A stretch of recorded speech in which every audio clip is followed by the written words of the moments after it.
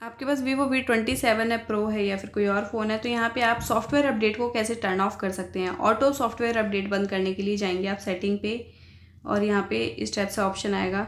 System update का option है system update पे क्लिक कर लेंगे और इसके बाद यहाँ पे आप जाएँगे सेटिंग पे और स्मार्ट अपग्रेड को बंद कर देंगे और डिसेबल कर देंगे।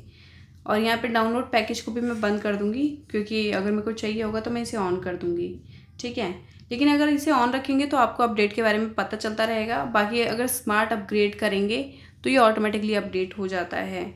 तो फ़िलहाल के लिए मैं इसको बंद करके रखूँगी डिसेबल कर दूँगी। ठीक है? तो ये बिना मेरी परमिशन के अब अपडेट नहीं होगा। जब मेरे को अपडेट करना होगा तो मैं जाके यहाँ पे इंस्टॉल पे क्लिक कर लूँगी। चलिए मिलते हैं आपको एक नेक्स्ट वीडियो में। तब तक के लिए नमस्कार।